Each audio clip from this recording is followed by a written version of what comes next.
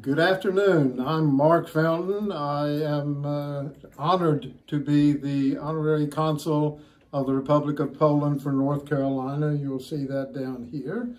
Uh, and uh, the uh, coat of arms for the state of Poland. I am equally honored to be the president of the Ignacy Jan Paderewski uh, Festival, Piano Festival of Raleigh, North Carolina, and uh, to share with my wife responsibilities uh, for that particular uh, entity. Uh, we have an artistic director, Adam Wibrowski, who lives now in Krakow after some 40, 45 years in Paris. And we are proud each year to offer a piano festival in the month of November. This year will be November the 7th and 8th and November the 14th and 15th. And it is the seventh annual Ignacy Jan Paderewski Piano Festival of Raleigh. Uh, we began this in 2014 and uh, we have built it around a particular piano uh, about which you will hear again later. The uh, subject for today's talk is uh, Paderewski's concerts in North Carolina. He played nine concerts, which you see enumerated here, the earliest in 1905, the last in 1939, uh, one of the very last concerts he ever played anywhere. In between, we had several visits. Uh, the first was in Charlotte in 1905. The second was in Raleigh in 1917. And then we had a series in succession, three concerts in uh, Raleigh, Charlotte, and Asheville in 1923 in November. Then there was a standalone in Greensboro at the Carolina Theater in 1928. Two concerts in succession, one night after the other, in Durham and in Charlotte. And finally, a standalone concert in Raleigh in April of 1939. You'll see over here on the right that there are two Time magazine covers. The earlier one here is from January the 23rd, 1928. That's a cover date. Remember that the uh, printing date will be approximately one week before that. Uh, the second one is uh, dated on the cover February the 27th, 1939. Now, these two covers had very little to do with politics. They had everything to do with music.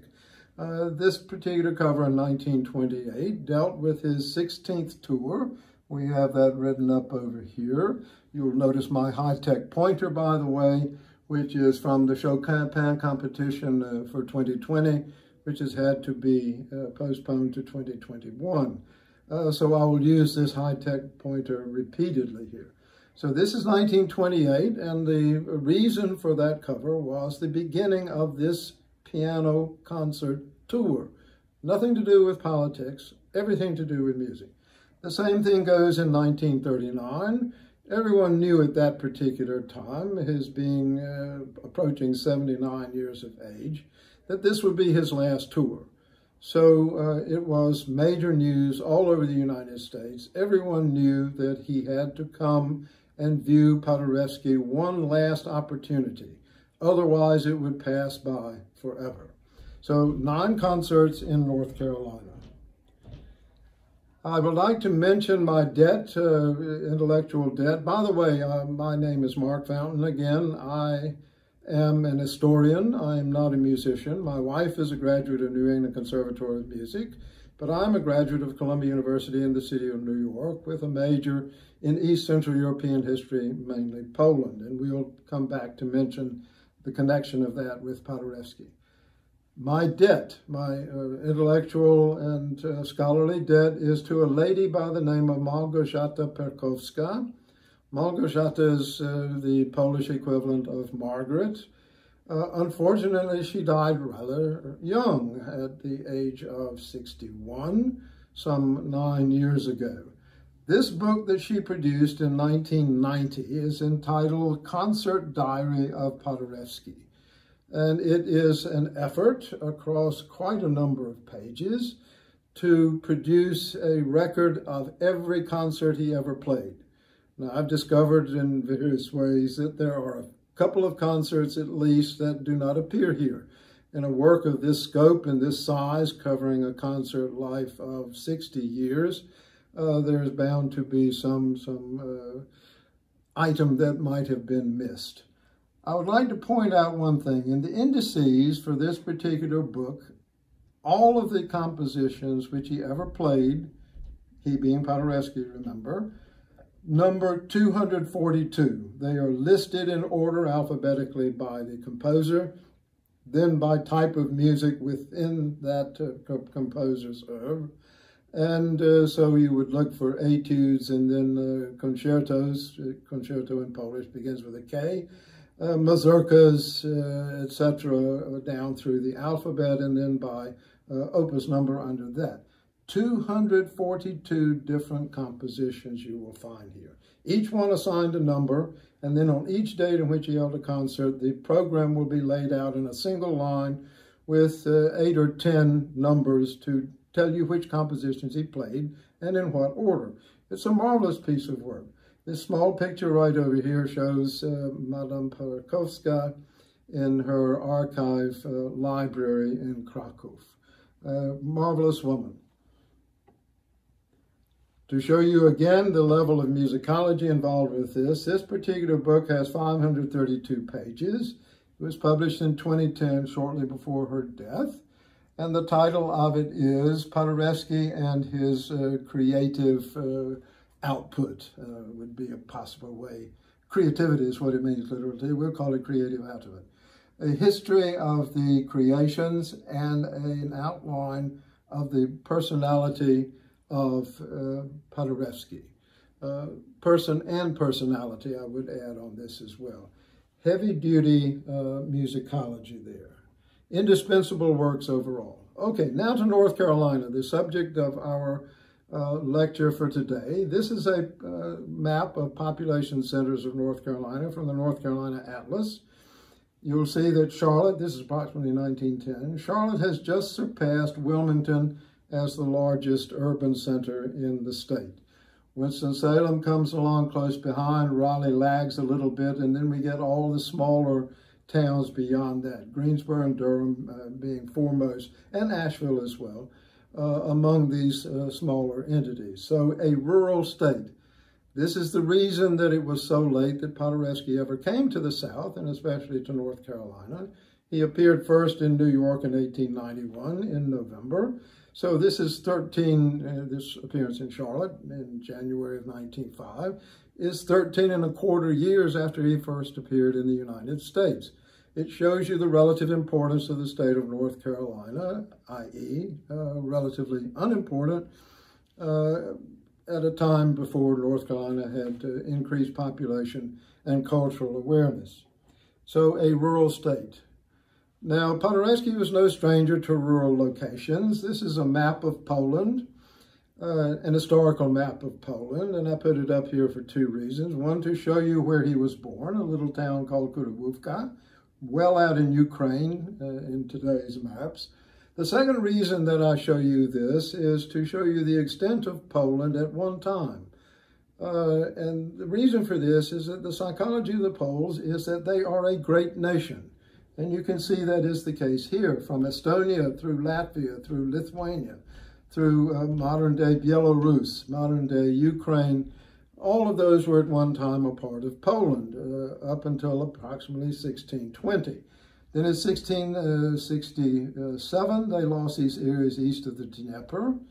Uh, to orient you further, Kuryłówka is here. This is Kiev, uh, the capital of Ukraine. And you'll see that Kuryłówka's birthplace is much closer to Kiev than it is even to Lvov, uh, or Lviv in Ukrainian, Lemberg in German, Leopold in French. Much less uh, how far away Warsaw is. So he was born quite a distance from the center of Polish culture, Warsaw. Uh, and uh, he was a Russian citizen at the time of his birth. Uh, his birthday, by the way, uh, according to the Roman Catholic calendar, the Gregorian calendar, is November the 18th, 1860. You will see this uh, displayed on occasion as November the 6th. November the 6th is the date on the Julian calendar, which was still in use in Russia at that time, all the way up until 1918. So uh, there's a 12-day discrepancy in the 19th century, and that's the reason for the difference. But technically, if we're looking at it from the Western Gregorian calendar, his birthday is November the 18th. So a, uh, a uh, one, one final description of the, the differences, cultural differences at that time. To make it perhaps a little starker, the, uh, the Poles in these regions in the east were normally the aristocrats, uh, the great landowners. The peasantry was Ukrainian, at least in the southeast, Belarusian in the uh, northeast, uh, Lithuanian in some of these areas in modern-day Lithuania.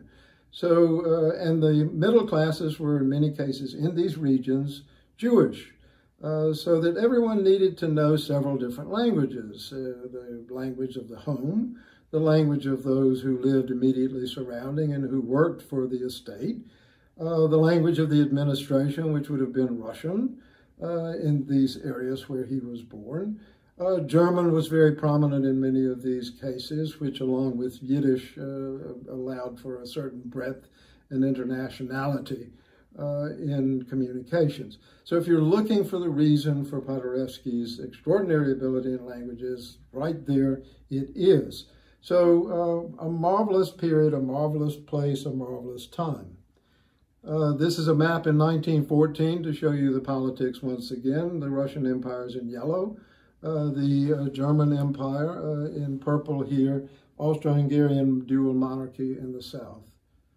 And today's map, uh, Poland is here. You'll see Kuryłówka, here's Lvov, Lviv, Lvov, Lemberg, and Kiev on out to the east right here. So enough for the orientation there. One last thing on languages to show you the mix in this territory. Kuryłówka, once again here, you'll see it in a sea of yellow, in this case mainly uh, Ukrainian.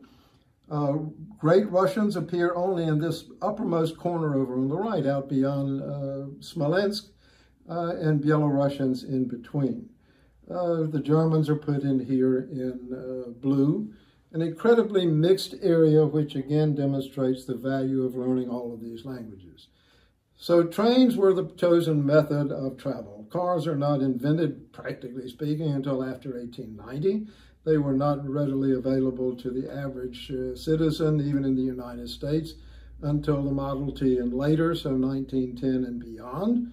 So everyone traveled by train. Here he is in the United States. We can tell when this picture was taken, approximately 1900, probably in the spring, considering the clothes that the people have on. And we know that it's that, that late because his wife is with him. He married her in 1899, and she began traveling with him from that point forward. He normally traveled in leased railway cars. He did not own a private car. He leased private cars on each one of his 20 uh, tours in the United States. Early on, it was a car called the General Stanley. The Pullman Company gave names to all of its cars, especially the uh, nicest of them. Uh, another about which we will hear later is known as the Superb. He had a considerable entourage here, He had a cook and servants, he had piano tuners, technicians, uh, other people traveling with him, secretaries, etc. So uh, quite a, a show here. Now, the state uh, of North Carolina, as I said, was relatively rural. Charlotte is the first uh, uh, city that he visits, and it's almost at exactly that moment that it surpasses Wilmington as the largest of the cities and towns in North Carolina. It had increased from 18,000 to 34,000 in the space of 10 years an 88% increase. We sometimes talk about various suburbs being uh, uh, very populous all of a sudden, uh, apparently uh, ballooning. Uh, it happened then as well. Wilmington grew much less. In 1910, it had 24,000, and it had advanced only 4,000, or 25%, from what it had been in 1900. So the largest city in North Carolina, befitting uh, having uh, a first visit by a prominent international musical star. Now here we mention again the railways. This is the Southern Railway system, the old Southern Railway. Washington, D.C. is up here. The main line runs down through Virginia, and we come to uh, Charlotte here that I've circled, Atlanta, and on down to New Orleans. This is the old main line of the Southern Railway. So uh, Charlotte is on the way to Atlanta, if you will, and Atlanta is on the way to New Orleans, two destinations much larger than any city in North Carolina. So we are on the road to wherever. This is a postal card view of the station, the Southern Railway Station in Charlotte. This particular postcard was postmarked in 1905 in October, so we know that this is very much contemporary with his first appearance there. Uh, by the way, I, uh, one thing you will notice through this is that I need more information about the concerts outside of Raleigh and Durham and Asheville. I have a fair amount of information on those three. I'm lacking in information on Greensboro and Charlotte. I hope that all of you today from those two neighborhoods would be able to help me out in this. Here's the program in Charlotte, January 26, 1905, as I've reconstructed it from Perkowska's listing. Remember, she lists every work in the order in which they were played, so we can reconstruct the program. We're not sure about the time of day. He played sometimes in the afternoon, especially in the earlier tours. Uh, later tours more often at night. So it's probable that this was already at 8 p.m. or 8.15, something of that kind. Now here's the construction of the program. Uh, we have, and this throughout his career, he plays more or less in this order. Some uh, major item from an earlier period, but as modified by Liszt. Uh, he had a great uh, deal of respect for Liszt, uh, so you will see Bach Liszt, Schumann Liszt, Schubert Liszt, all of these things, uh, the version as done by Liszt. Fantasia and Fugue in A minor is the first one here. He then goes to a Beethoven sonata. This is quite often the case. Sometimes it varies, as you'll see later. This case is the, uh, in this case, it's the Appassionata. Then we move to an impromptu by Schubert. Now there's a Schubert block. Hark, Hark the Lark. Uh, this was for the popularity. Uh, Errol was a, a major item at this time. So these were items that appear very frequently in the early concerts and sometimes in later ones. After that, we get what I call a Chopin block. Bloc in the French sense, B-L-O-C, that is a grouping of uh, items uh, that have some relationship to one another. And these will normally include a ballade, uh, etude, uh, scherzo in this case, and a waltz. Or some combination of that. There might be more than one mazurka, there might be more than one etude, uh, there might be more than one of whatever, but it will be a Chopin block, uh, quite often including one of the ballades. Then he would be, on occasion, likely to put in one of his own compositions. So we hear Paderewski, Miscellanea, Opus 16, Legend, Melodia, Theme, and Nocturne. So uh, these are not on every concert, but uh, fairly frequently. He had a, a stake, uh, obviously, in promoting his own work. And then he would end with a showpiece of some kind, uh, something again by Liszt, uh, being the uh, consummate showman. Uh, Liszt was appropriate for this. This is the Hungarian Rhapsody number six. Now, I need uh, someone to go to the Charlotte Public Library and look all of this up on microfilm. Uh, once you can get into the library again, once the COVID-19 is out and past, or conquered in some fashion, or appeased in some fashion. So, and, and find out if there's a reported encore here. I would be very surprised if there were not. He played many encores, by the way, across the years. To go uh, between 1905 and 1917, the next appearance in Raleigh, uh, there were caricatures of him at this time. He was uh, with this huge bouffant hairdo of red hair. He was quite uh, attractive to women. This is a cartoon from a caricature from 1909. In 1909, there was competition to see who, which explorer, would be first to reach the North Pole. So this is a pun uh, he's running from his piano. He's being pursued by ladies of all ages. And the caption runs, a dash for the pole. This was the term used for the uh, competition among explorers to be first at the North Pole. Uh, obviously a wonderful pun here, dash for the pole, he being the pole rather than the North Pole. Uh, an English uh, caricature from about the same period. It's entitled down here at the bottom, P. Aderewski, uh, Strand Barber. So uh, a comb in his hair, some pomade in his right hand, etc. This is a caricature from 1916 in the United States by a Dutch-American caricaturist, Tin Stork. Uh, I use this for the second uh, Paderewski poster, for the second uh, annual Paderewski Piano Festival in Raleigh. It's marvelous to me. We have his face. We have a right hand raised dramatically on high. We have the left hand drumming away at some Liszt number uh, at the bottom left. Intervening also is World War I, uh, but prior to World War I, we have a show of Polish nationalism, an effort to demonstrate to the world that the Poles were still in existence, no state, no sovereign state, but a nation a cultural entity uh, with great vibrancy. 1910 was the 500th anniversary of a very famous battle, at least in East Central Europe famous, uh, called the Battle of Tannenberg in Germany, or Grunwald in Polish. And in that battle, the uh, Polish-Lithuanian combined forces under Władysław Jagiełło, whom you see here at the top of the monument, came out victorious over the Teutonic Knights. You'll see Ulrich von Jungingen down here at the bottom, lying prostrate on the ground, ergo defeated totally. Uh, the, the, Germans tore this monument down a couple of times, uh, and it had to be rebuilt the last time in the 1970s, some 30 years after it had been uh, destroyed in uh, World War I. Now, the money for this was put up by Paderewski. He had uh, vast amounts of money by this time, 1910, and uh, was uh, one who could finance the sculptor Wiwulski in putting this together. The war breaks out on July the 28th uh, with a declaration of war by the Austrians. July the 31st was Paderewski's name day, and on that day in Riond-Bosson, word came in to all the celebrants, of whom there were a great many, by the way, that uh, the Russians were mobilizing, and everyone knew that that point, even more important than July the 28th, that there was a war. Uh, it was extremely difficult, a dramatic moment.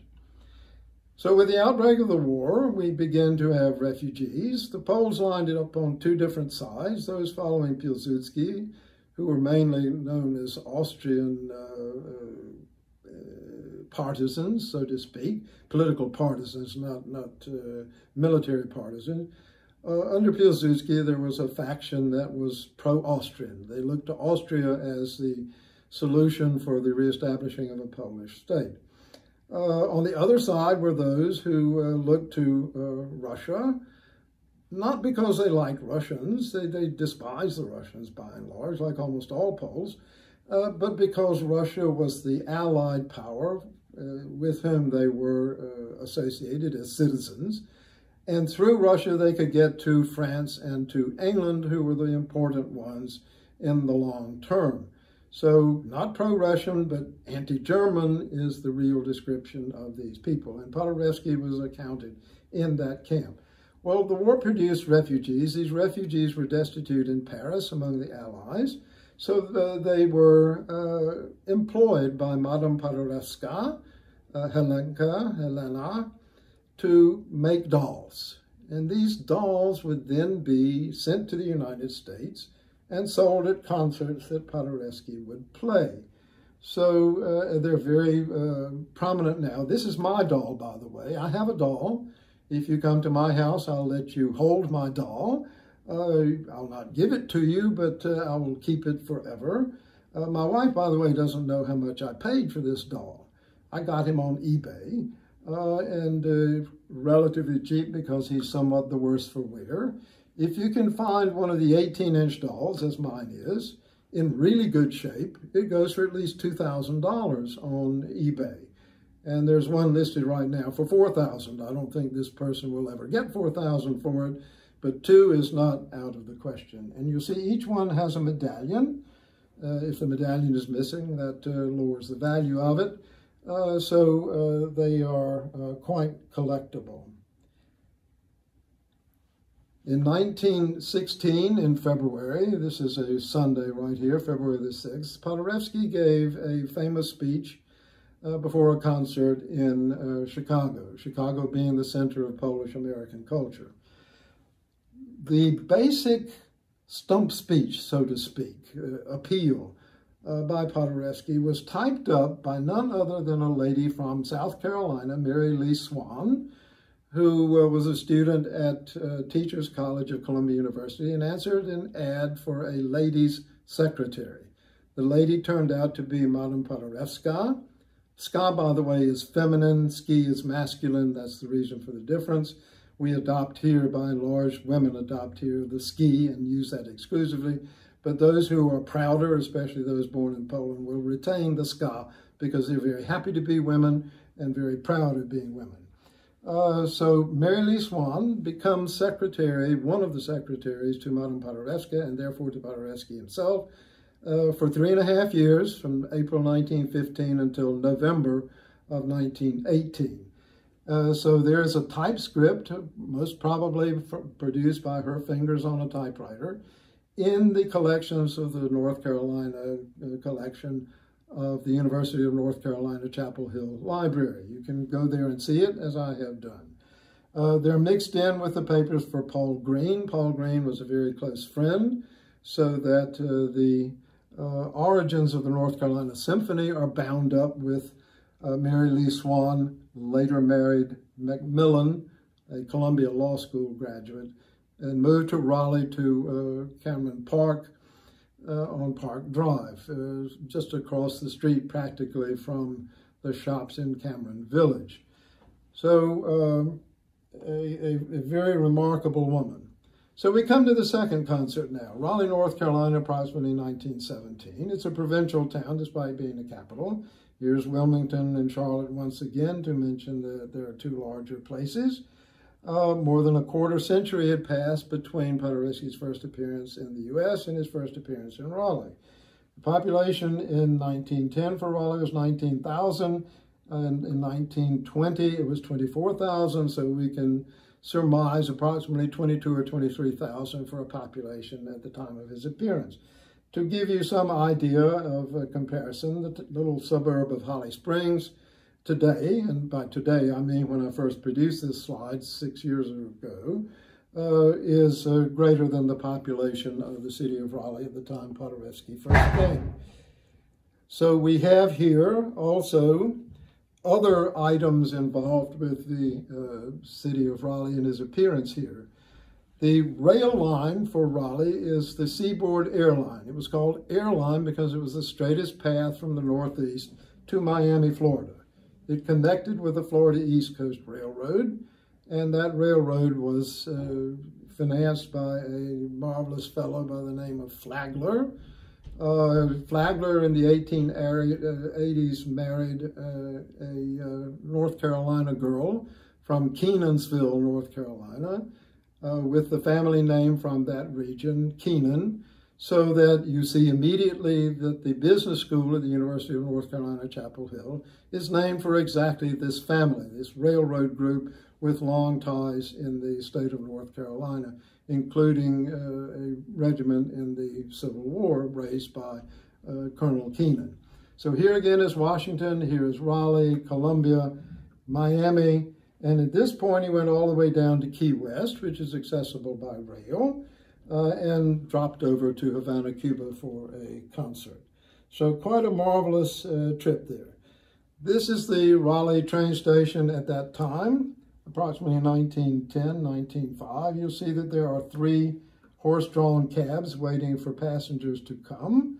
And you will see that there is a, a streetcar in front. There were trolley tracks in front of this particular uh, train station. Here's another postal card view of this, slightly different angle. The cars, by the way, are dropped in. They, they are not true to life here. They're not part of the original picture. This building is still there, minus the tower. On this right side, the north side of that building is the Raleigh Fire Station number one. It's across the park from the old News and Observer uh, headquarters, so it's very easy to find it today. To show you how this worked, it was a head station There was a little spur line that came in straight in to uh, a dead halt. Uh, and uh, th then it was a short ride over to the Raleigh Municipal Auditorium, which is the location of the BB&T building today, that curtain wall construction. This is a picture of the Raleigh Municipal Auditorium here. The auditorium proper is in the rear with these three arched windows in the main entry here. This forward part uh, was the City Hall and had archives and records of the city. To orient you a bit, this is the state capitol building, uh, situated as it is still today. This is St. Mary's School. This is the main building, uh, East Rock, West Rock, etc. This is the North Carolina Central Prison right here. And you see the rail lines, which are today in the same position they were at that time, minus this little spur that comes down almost to the legislative building, uh, which disappeared in the 1940s. Uh, uh, when I was in elementary school, I visited the old roundhouse uh, right here in 1950. So, uh, short drive over. Uh, the tickets were sold at a place called Boylan-Pearce. This building is still there. This shows it as it was rebuilt, renovated in 2014 to the appearance that it had at that time. You'll see this contemporary picture and one from today. Uh, the Raleigh Rotary Club sold the tickets. This was not unusual. It was normal for the time. There was a huge turnout. There were special trains that were laid on by Southern Railway for those living east and west of Raleigh, by the Seaboard Coastline, or Seaboard Airline rather, uh, for those north and south of Raleigh. Here are some items from the News and Observer leading up to this. This is the Southern Railway advertisement for special low round-trip fares to come to Raleigh for the uh, concert. We have here, Paderewski seats went like hotcakes yesterday, mentioning that there were lines uh, to, to buy these tickets an advertisement over here on the right from Darnell and Thomas. Darnell was a lady, a woman who owned her own business, uh, shared it with Thomas, uh, and they had a music shop in the first block as you're coming out from the Capitol, uh, right behind today's appeals court building. Uh, and uh, obviously they had a stake in selling piano rolls and other items dealing with music. Uh, event now considered an assured success. In other words, this was entrepreneurial. We had to sell tickets in order to, to make it pay for itself. And it was an assured success. Uh, an advertisement for Steinway. There was no Steinway dealer in Raleigh at that time. The nearest Steinway dealer was in Richmond. And uh, from Richmond, uh, they could deliver this to anywhere in the eastern part of the state or anywhere in the state for that matter, because there's a line for Southern Railway also coming out of Richmond, down through Danville and Greensboro, Charlotte, that I mentioned earlier. So a marvelous point here. So what did he play in Raleigh? Here's another picture of the Municipal Auditorium. From the other angle, the, uh, the first picture was taken more or less to the northeast. This picture is taken with a photographer facing northwest. So here we see the main doors. The stage was at the far rear here, and it's asserted that there was a capacity of 5,000. I don't believe that. I've seen another uh, estimate of 3,500 as capacity, and I consider that uh, even then exaggerated, and I'll show you why a little later. So what do we play here? We know that this was at 8.30 because I've seen it in the uh, Raleigh News and Observer on microfilm. So what does he start with? Another early number, Bach version by Liszt the Fantasia and Fugue in A minor. Then we get a Beethoven uh, sonata, in this case, the Moonlight, 27 number 2, C sharp minor. Then we go to Schubert again, in this case, Impromptu Serenade, and once again, Erlkönig here, very popular number. Now, early on, the Chopin block, which here is rather uh, considerable, uh, sometimes did not include uh, the particular numbers. So we don't know which mazurka it is. We don't know which etude it is. We only know that there was an etude or a mazurka or a nocturne. So in these cases, I have put down question marks for each one of these. The little minuet down here by Paderewski, we don't know. He had more than one minuet. There's the famous one. Uh, but this is the way the concert was reported in the News Observer on the day following the concert. And we know from that newspaper report that he played the military polonaise as an encore. uh, perhaps the uh, only one that he played at that time. Now, this appearance in Raleigh coincided with a remarkable political moment in the life of the United States and the life of Poland. The United States was not yet in World War I. We did not declare war on Germany until April the 6th of 1917, and this is January the 23rd. Uh, this is the date of the concert, by the way. Now, here we are. This is Josephus Daniels, editor of the Raleigh News Observer. This is Edward Mandell House, Texan fellow who was a confidant of Woodrow Wilson, and therefore a uh, as a confidant, he was sort of the gatekeeper uh, for the president uh, for both of his terms. Unfortunately, he was shunted aside a bit at Versailles, a great mistake on the part of Wilson. This is Robert Lansing, Secretary of State. Josephus Daniels, because of his extraordinary services to the Democratic Party in North Carolina and the delivering of North Carolina in 1912 and again in 1916, was named Secretary of the Navy. His assistant secretary was a young man by the name of Franklin Delano Roosevelt. So keep in mind that all of these personal contacts early and in midlife redound uh, either favorably or unfavorably in later life. So personal contacts are always important. Edward Mandell House, I mentioned here, Robert Lansing, and we can mention uh, this all redounded to a marvelous event.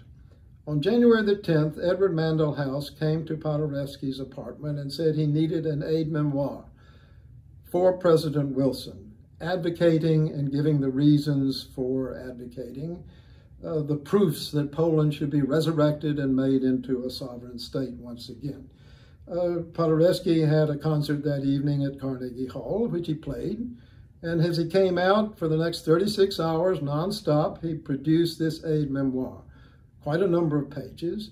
Uh, the secretaries were working on this and typing them up. So once again, a Raleigh connection in here uh, for Mary Lee Swan, later Macmillan, who is typing on all of this. So this is the report on the morning of January the uh, 24th. Uh, I'm sorry, morning of January 23rd uh, saying concert tonight, etc., and uh, detailing the speech that Woodrow Wilson gave, including these points that Paderewski had set out in his aide memoir. So what were these points? There are two of them involving Poland. By and large, these are, are, this speech was a declaration of war aims of the United States if and when the United States were to declare war. And only eight or nine weeks later, it did declare war the first time that a major world power set itself out as supporting an independent, uh, sovereign Polish state with access to the sea. And these are those two parts. This is an independent uh, state of Poland here. The, the, whole speech, by the way, this overnight, uh, was done up and appeared in print the next morning. You think that we have rapid communication today. They also did pretty well in 1917. Then down here below, as part of a general look, there is uh, an advocacy of Polish access to the sea. Sea power was the great idea of the day. This is the underpinnings for Teddy Roosevelt. This is the British Navy in World War I uh, and ever since, and for decades and even centuries before that. Access to the sea, the influence of sea power upon history, the famous book by Edward Thayer uh, uh, McMahon.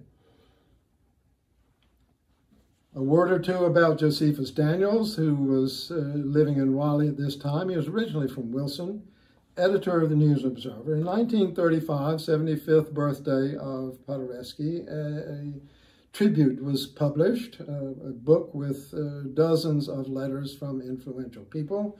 In this case, Josephus Daniels uh, was working for his former underling, uh, his former underling, remember, Franklin Delano Roosevelt, uh, who was in uh, this time, 1935, President of the United States, and he named Josephus Daniels ambassador to Mexico. So here's a tribute to uh, Paderewski, which mentions this meeting Paderewski during World War I when he was Secretary of the Navy, uh, meeting him again in 1923 when Paderewski came to Raleigh for his second concert, And at that time in 1923, by the way, uh, Paderewski came over to Josephus Daniels' house on Glenwood Avenue, the Masonic Lodge that you pass there just beyond the intersection with Wade Avenue, and uh, played on the uh, little house piano that they had there. End of World War I comes. Uh, Paderewski returns to Poland in 1918, November. Uh, almost immediately upon the signing of the armistice, he lands at uh, Gdańsk, Danzig, proceeds to Poznan. There's an uprising there against the Prussian uh, administration, moves on to a triumphal return to Warsaw itself. He is named prime minister on January the 16th, 1919. Uh, he's a compromise candidate, acceptable to both the right and the left. The left at this particular time is headed by uh, Joseph Pilsudski, or Józef Pilsudski in Polish, and the right is headed by Roman Dmowski, about whom I wrote my doctoral dissertation, a far right-wing uh, politician who becomes even farther right-wing as time goes on. So he's a compromise candidate acceptable to both sides. Pilsudski never liked him, by the way. Pilsudski was rather mean-spirited all the way around because of the circumstances of Paderewski's marriage to uh, Helena. Uh, she had been married before.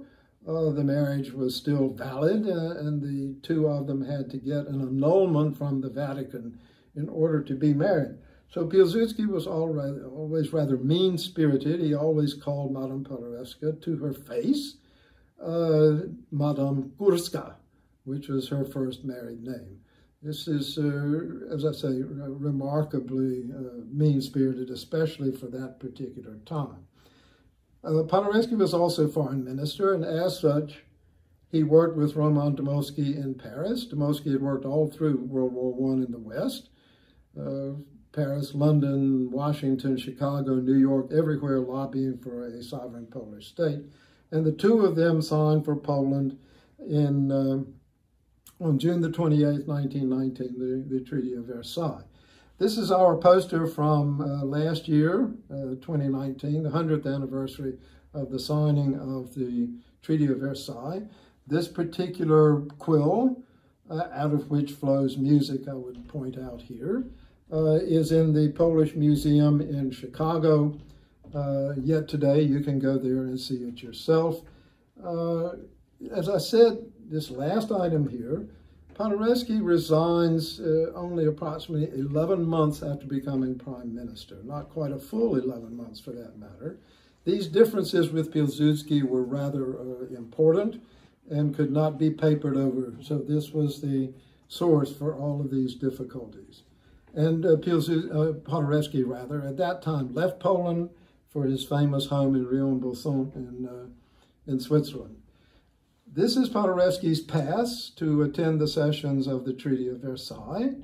Uh, and that treaty reestablished Poland as a sovereign state, but it was uh, within the frontiers possible at that time given nationality conflicts, and his birthplace, Kuryłówka, was not uh, put into these new boundaries. It was too far to the east, remember, closer to Kiev even than it was to Lemberg, and therefore outside Polish linguistic territory by anyone's estimate.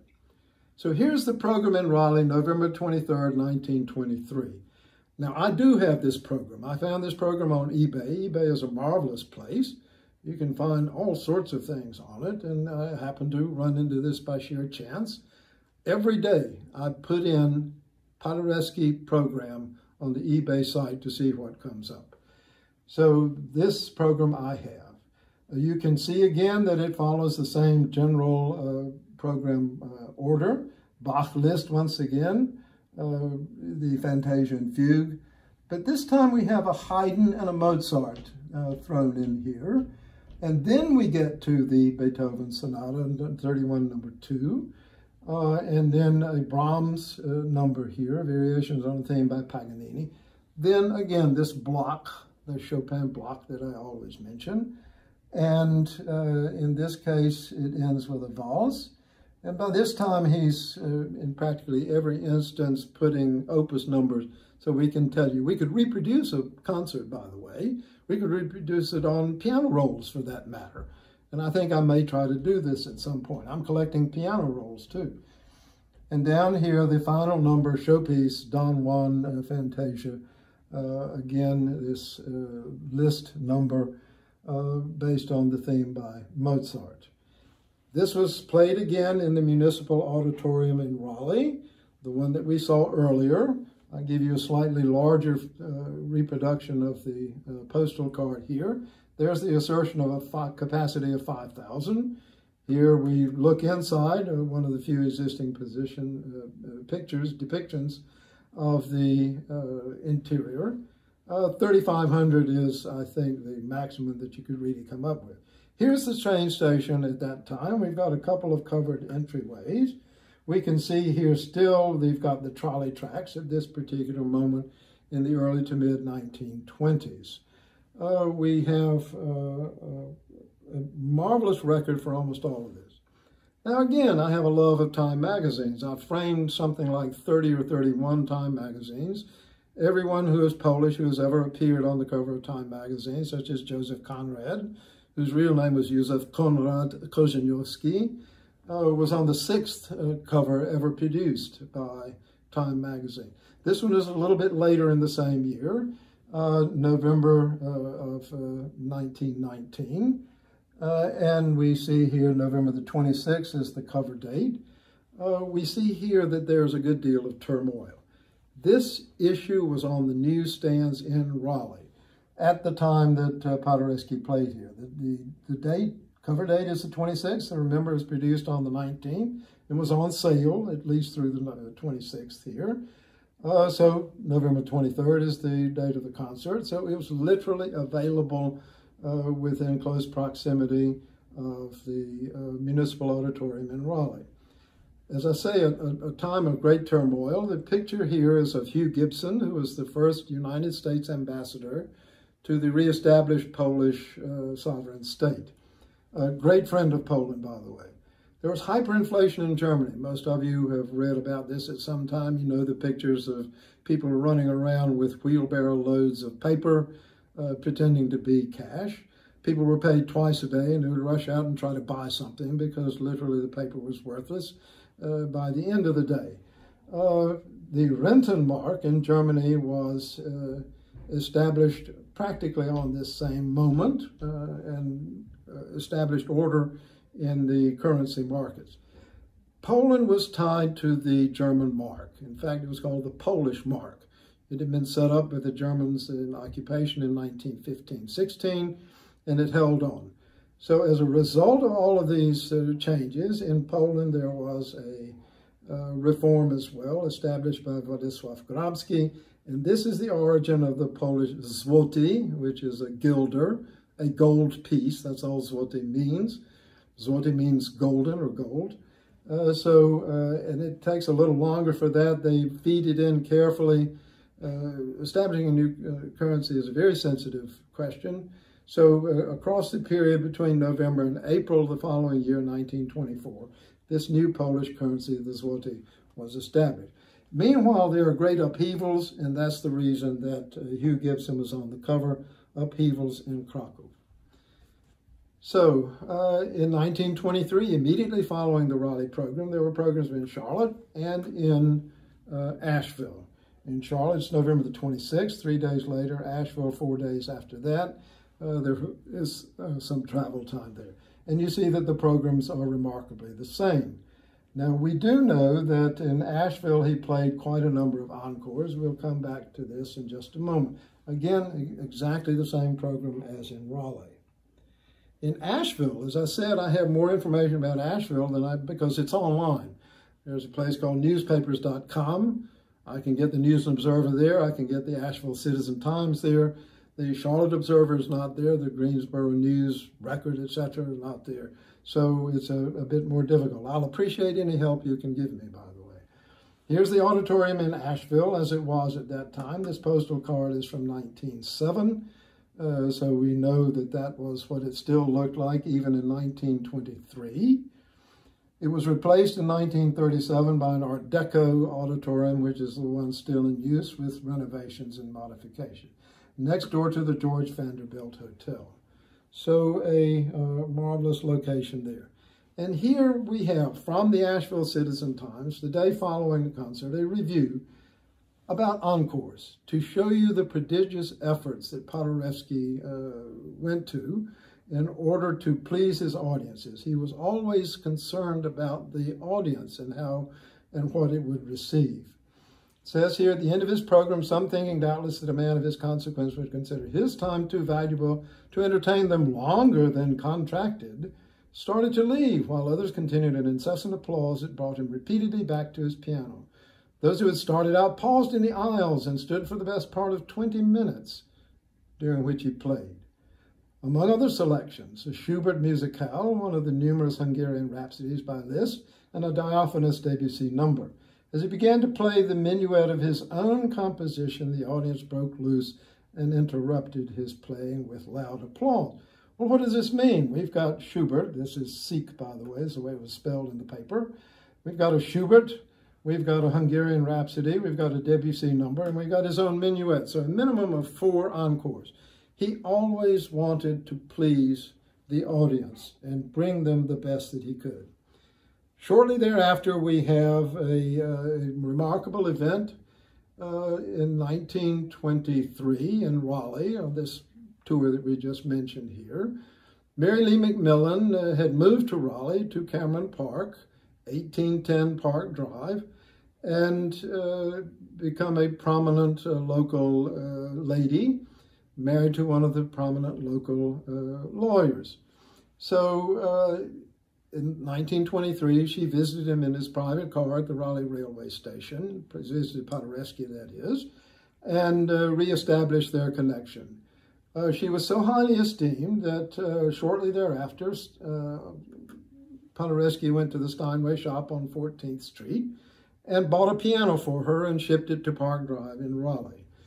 He uh, had a concert the night before, Friday night is May the 9th in this case, in uh, Carnegie Hall, uh, including, uh, somewhat unusually, an item that was not exclusively piano, the P Beethoven Piano Trio, including Efrem Zimbalist, the violinist, and Felix Salmond, the uh, English cellist. So uh, you'll know this name, Efrem Zimbalist. Those of you who are old enough will remember Efrem Zimbalist Jr., uh, star of uh, Route 66, the black and white film program from the late 50s and 60s. Uh, the granddaughter is Stephanie Zimbalist, by the way. But the famous Efrem Zimbalist is the father. He was the head of the Curtis Institute in Philadelphia, uh, which was practically, by the way, a Polish conservatory. Uh, they had Mieczysław Olszewski there. They had uh, Madame Sembrich. Uh, it, it, was truly a marvelous period. Uh, on Saturday, as I say, he went and, and bought this piano for Mary McMillan and signed it and arranged for it to be sent to Raleigh. On Monday, he went in and recorded a large number of piano rolls uh, and these are available today, at least a, a, portion of this Naxos album. Something like seven of the items on this are reproductions of the recordings that he did on Monday, uh, the uh, 20, I mean, sorry, Monday the 12th uh, of uh, May, 1924.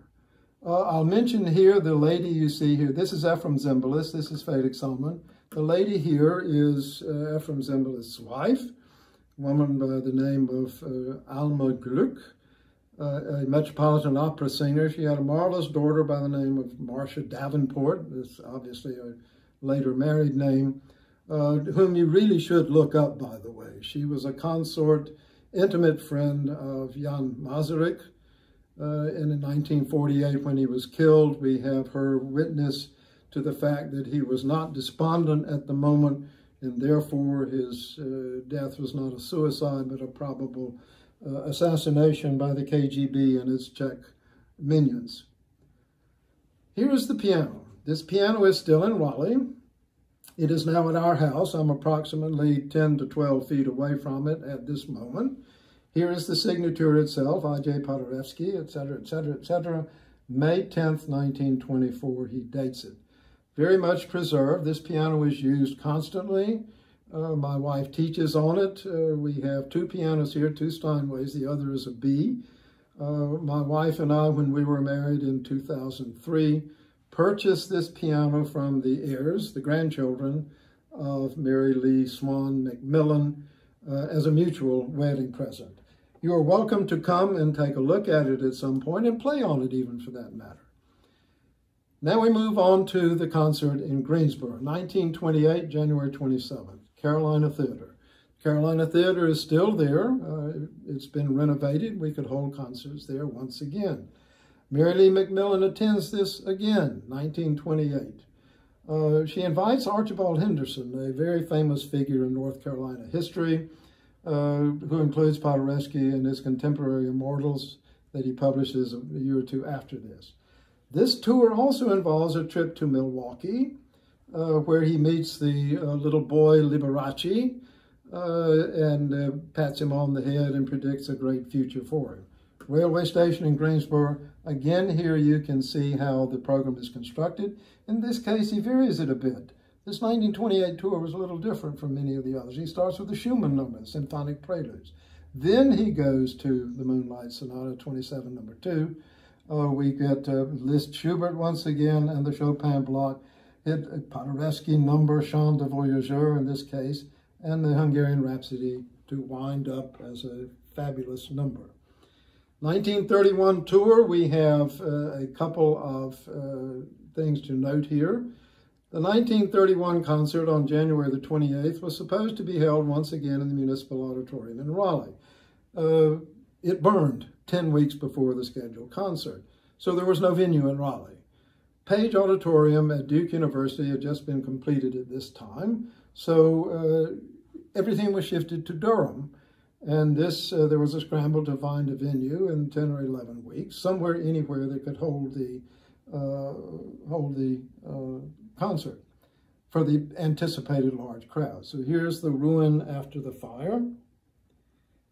Uh, this is a Sanborn fire map showing the outlay. This is the part that survived that later became the Raleigh City Hall and survived up into my high school years, 1960 or so.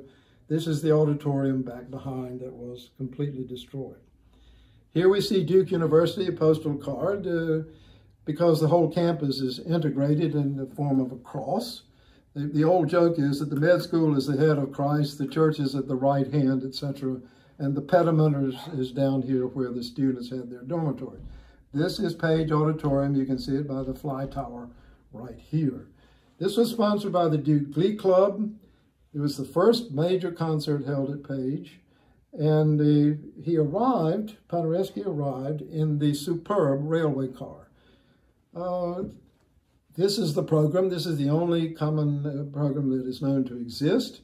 According to the lady who attended this, Dorothy Newsom Rankin, in all probability, he started the concert at 8.20. It was scheduled at 8.15.